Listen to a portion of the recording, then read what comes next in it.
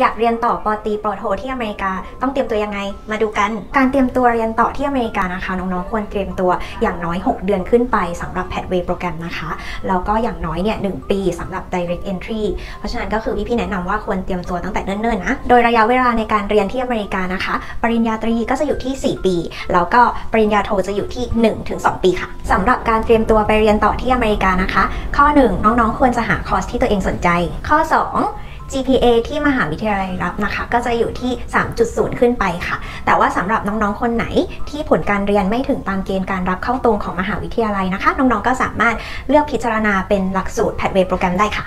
ข้อ 3 นะคะ ที่ขาดไม่ได้เลยก็คือคะแนน IELTS หรือว่า TOEFL ค่ะ ส่วนคะแนน GMAT หรือว่า GRE นะคะ ก็ขึ้นอยู่กับ มหาวิทยาลัยและคอร์สที่น้องๆเลือกค่ะฟังดูเหมือนจะยุ่งยากใช่ไหมคะ แต่จะบอกว่าน้องๆ คนไหนที่สนใจนะคะ สามารถปรึกษาพี่ๆ hands on ได้เลย ทางเราเนี่ยเป็นตัวแทนมากมายหลากหลายสถาบันนะคะ ทั้งในอเมริกาแล้วก็รวมถึงแคนาดาด้วย ไม่มีค่าใช้จ่ายนะคะ บริการฟรีทุกขั้นตอนค่ะ ฝากกดติดตาม hands on ด้วยนะคะ จะได้ไม่พลาดคอนเทนต์ดีๆ เกี่ยวกับการเรียนต่อต่างประเทศค่ะ